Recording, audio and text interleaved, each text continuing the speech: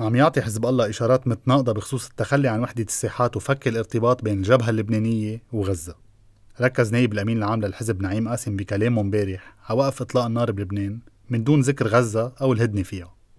بعد ساعات اجى موقف مناقض من الحزب كمان موقع من غرفة عمليات المقاومة الإسلامية بيقول البيان لغزة أنه الحزب على العهد والوعد وما حيتراجع عن جبهة إسنادها. هالبيان بيعني إنه مبدأ وحدة الساحات بعده شغال بصيغة أقرب للنبرة اللي عم يحكي فيها المرشد علي خامنئي ووزير الخارجية الإيراني؟ الارتباك بموقف حزب الله ما بين بس امبارح. النائب حسين الحش حسن أكد موافقة لبنان على مقترح وقف إطلاق النار الفرنسي الأمريكي اللي ما بيضمن صفقة بغزة. وهذا هو الأمر الأساسي. لبنان لبنان أعلن موافقته على هذا البيان.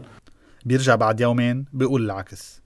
نفك الارتباط بين لبنان وغزة نحن ما زلنا على موقف الدفاع والإسناد لغزة وبياناتنا تقول ذلك وهذا الأمر آه، أصدرناه عدة مرات اليوم تحديدا في بياناتنا. هالارتباك والتناقض ممكن ربطه بثلاث عوامل. واحد بعد سنة من التضحية تحت عنوان إسناد غزة صعب يعترف الحزب بفك الارتباط من دون نتيجة بده مخرج مشرف بينهي الحرب بلبنان من دون القول إنه تخلى عن وحدة الساحات بصريح العبارة اثنين التعبير عن الموقف الرسمي للحزب وتحديد البوصلة صار أصعب اليوم مع اغتيال قيادات الحزب البارزة اللي شكلت مرجعية خطابه.